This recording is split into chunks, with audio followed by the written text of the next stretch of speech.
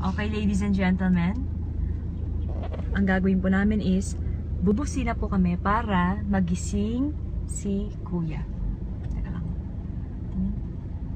One, two, three, go. Wait, wait. Sama ako. Gawin ko mamaya. Hindi nagising. Hindi siya nagising. Hindi nagising. Ay, ayan na. Oh my gosh, kamamaya pinapalo ka pa eh. Upload mo, tapos pinapalo ka pa. Nakakatawa na naman. Dapat yung buntis-buntisan. No? Oh my gosh, that's so funny.